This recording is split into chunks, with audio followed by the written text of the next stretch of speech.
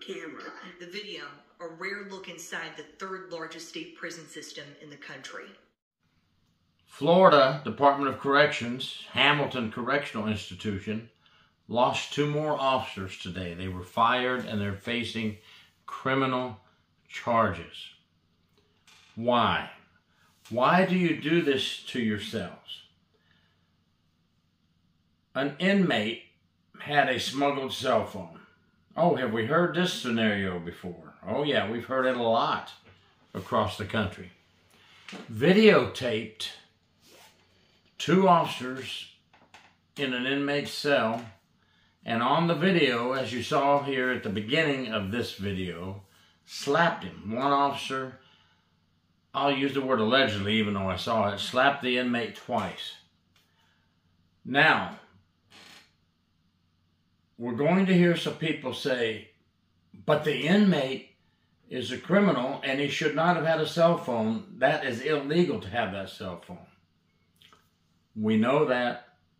We knew that in 2018. We knew that in 2019 when things happened across Florida where inmates videotaped officers doing things they should not be doing.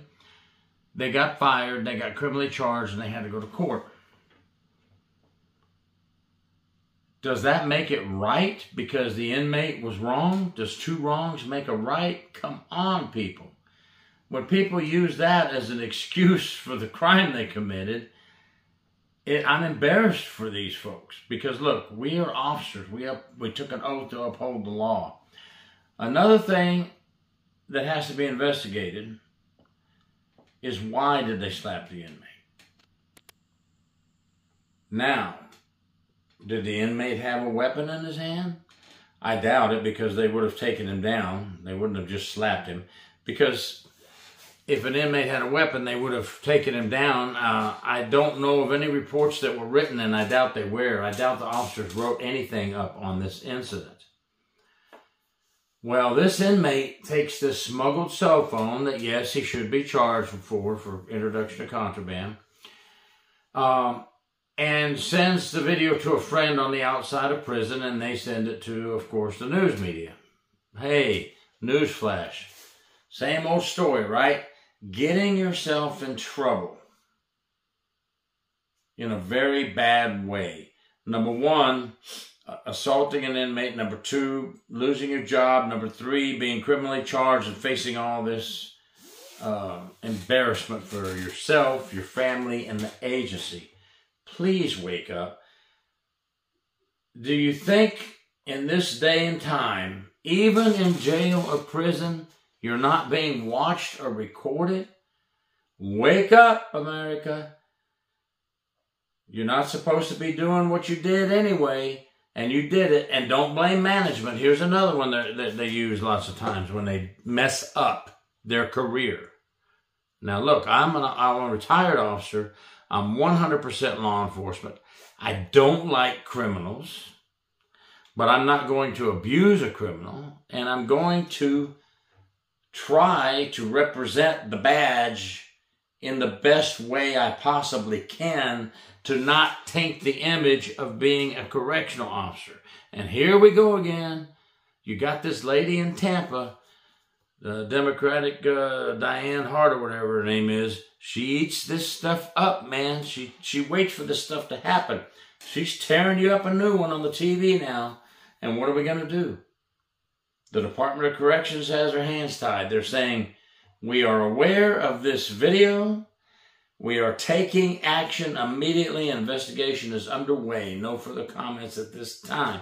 What, they, what else are they supposed to do? They're going to fire the officers, which they already did, from what I understand. They're going to be criminally charged. They're going to be arrested, folks, and booked in.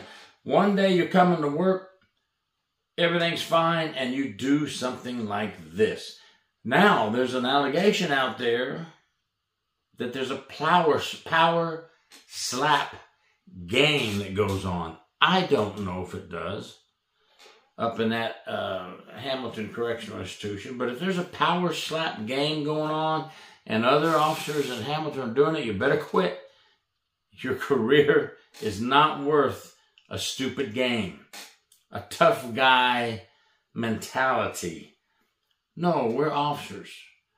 We go there to do our job.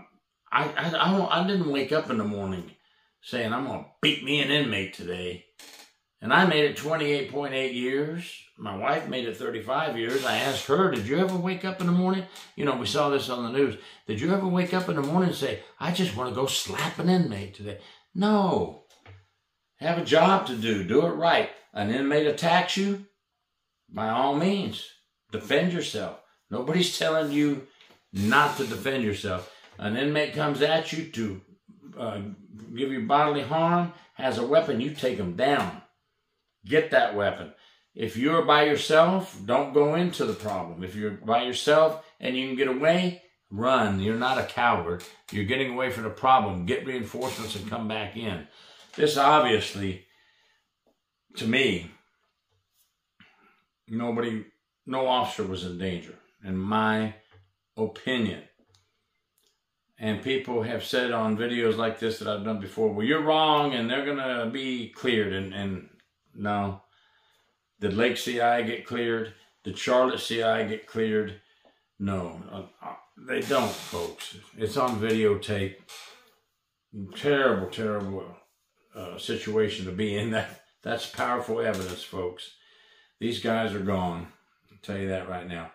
Please use common sense at work. Don't go to work to do this kind of stuff. Just do your job. You know, if that inmate was a problem, instead of slapping him, why didn't you just shut the cell door and lock him in? And do what you had to do with the pin, or get the team to come in and remove the inmate and place the inmate where he needs to be. No, no, no. There's too many things you obviously could have done better than what you did. Don't blame management.